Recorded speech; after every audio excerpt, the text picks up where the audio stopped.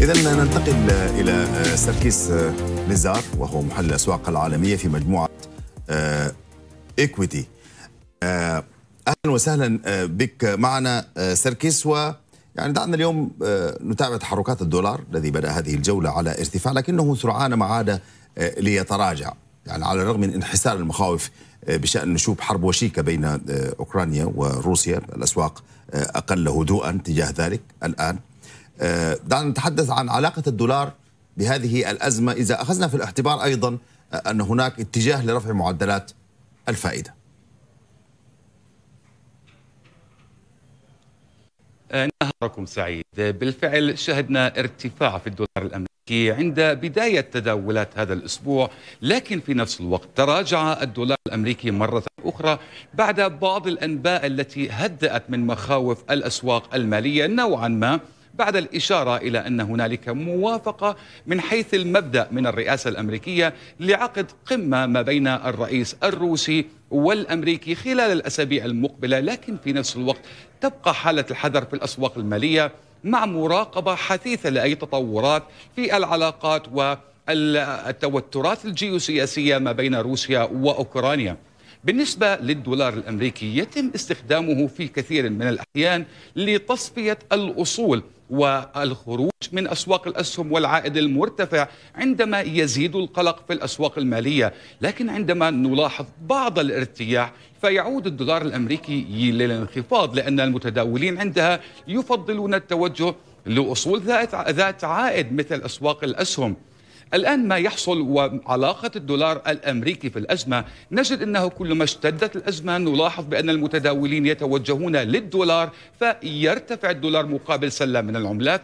لكن في نفس الوقت كما نشهد هذا اليوم فالدولار في هذه اللحظات يشهد انخفاض مقابل سلة العملات الرئيسية التي تشمل اليورو والجنيه الاسترليني وغيره من العملات مع بعض الارتياح الذي أشرت له.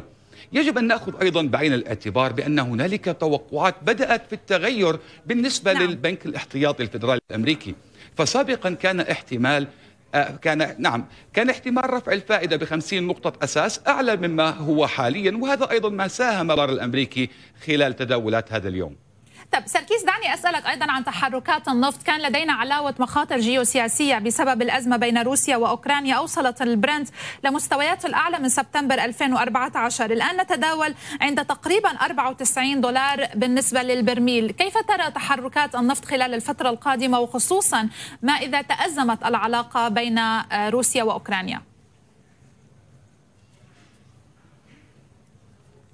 بالفعل بالنسبة لتحركات أسعار النفط تأثرت وبشدة بالتوترات الجيوسياسية لكن أيضا هنالك حاليا بعض المفاوضات الجارية لمحاولة إعادة إحياء الاتفاق النووي بين إيران والدول الغربية. هذا قد يوفر للأسواق مليون برميل نفط إضافي يوميا خلال أشهر إذا تم هذا الاتفاق بالفعل.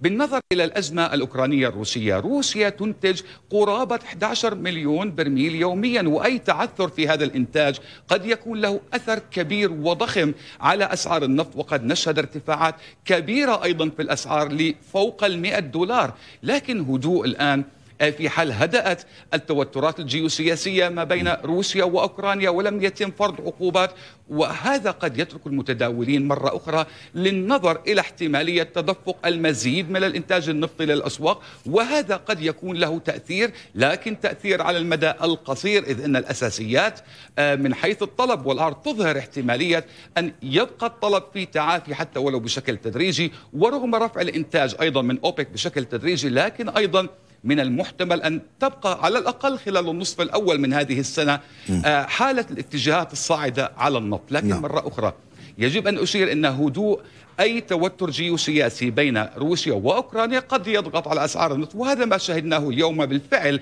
عندما شهدت أسعار النفط بعض الانخفاض بعد الارتفاع الملموس الذي شهدناه مع بداية تداولات هذا اليوم. نعم.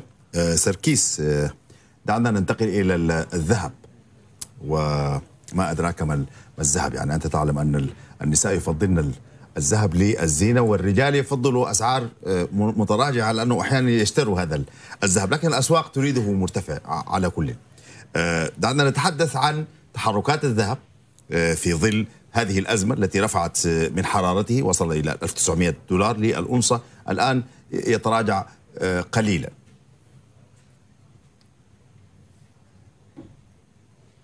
بالنسبة لتحركات الذهب بالفعل هنالك من ينتظر انخفاض أسعار الذهب للطلب الاستهلاكي وهنالك أيضا من يرى بأن أسعار الذهب قد تستمر بالارتفاع. بفعل الارتفاع الهائل في معدلات التضخم التضخم في الولايات المتحدة 7.5% الأعلى من 40 عاما في منطقة اليورو الأعلى منذ بداية التعامل باليورو عند 5.1% في بريطانيا. ارتفاع غير متوقع في التضخم عند 5.5% كل هذا يدل إن هنالك طلب على الذهب لتغطية مخاطر التضخم، لكن في نفس الوقت يعاكس ذلك توقعات رفع الفائدة في عديد من البنوك المركزية وهذا الأسبوع نعم. تحديدا ربما سنشهد رفعا بالفائدة في الاحتياطي النيوزيلندي وهذا يشير لنا بشكل واضح بأن البنوك المركزية قد تتوجه لرفع الفائدة للحد من ارتفاعات التضخم، أنا أتكلم عن أغلب البنوك المركزية وليس جميعها. بالتالي هنالك قوة متعارضة تركت أسعار الذهب في تحرك باستجابة للتوترات الجيوسياسية بين روسيا وأوكرانيا. وبذلك في حال عادت هذه التوترات مرة أخرى للتزايد فربما سنشهد ارتفاعات ملموسة في أسعار الذهب مستويات فوق 1900 1920 1930 دولارا. قد تكون متاحة لكن في نفس الوقت بما أننا نتحدث عن آه، احتمالية رفع الفائدة في بنوك مركزية فإذا هدأت هذه التوترات فربما سنشهد تراجع أسعار الذهب نعم. لما دون ال 1850 دولار. وبالتالي قد تبقى الاتجاهات الصاعدة طالما استمرت هذه التوترات. شكرا جزيلا لك سركيس نزار محلل أسواق عالمية في إكويتي جروب